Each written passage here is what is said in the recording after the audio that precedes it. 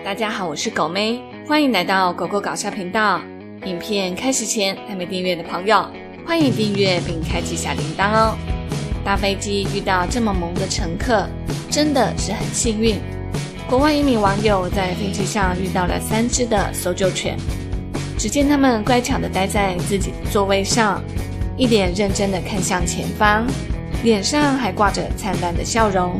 网友们看到后都觉得这一幕超疗愈，纷纷笑说：“一定是空服姐姐正在备餐啦！”网友分享了三只搜救犬搭飞机的照片，并说：“今天我坐在三只红十字会的搜救犬旁边旅行。从照片中可以看到，搜救犬们都乖乖待在自己的座位上，其他的乘客看到他们也很开心。”原 po 透露。这三只毛毛小英雄被训练得很好，旅途中完全没有吠叫，在飞机上表现得非常的稳定，也很安静。据了解，这三只的搜救犬来自墨西哥红十字会，他们已经接受多年的训练，也参加过不少的搜救行动。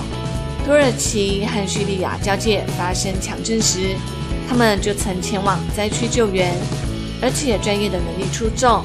协助救援队找到了受困的民众。